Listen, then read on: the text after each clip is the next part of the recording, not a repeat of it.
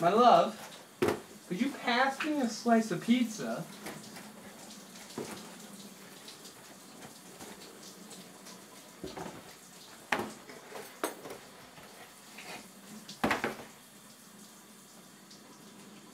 Is there seriously not a single slice of pizza left?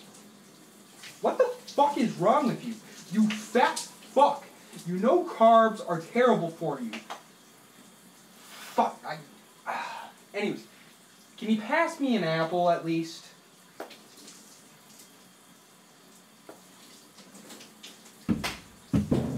A Granny Smith? Seriously? Granny Smith is a stupid cunt. I hope you know that.